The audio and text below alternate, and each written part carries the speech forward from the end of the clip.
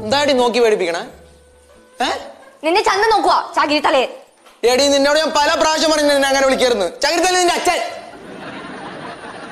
Sorry സാ ഒരുപാട് കളിക്കാൻ നിൽക്കല്ലേട്ടാ എന്തിയേ?